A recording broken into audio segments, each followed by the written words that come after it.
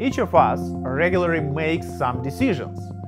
The optimal solution is often not obvious, and the cost of making a mistake is high. A-B testing is the most accurate way to choose the best option. A-B experiments is used to test effectiveness of new drugs. Also, it's widespread in business. Companies that use A-B experiments make more correct decisions and it's allows them to stay ahead of the competition. Mathematical statistics is the foundation of A-B testing. It provides mathematically sound criteria for testing hypotheses. So we can be sure about the correctness of the results obtained. In our course, you will learn... Uh, that's not your sweatshirt.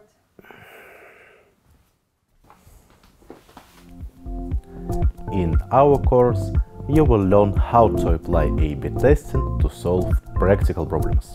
We will tell you about all the intricacies of A-B testing and introduce you to modern techniques for increasing the sensitivity of tests. Welcome to the A-B testing course.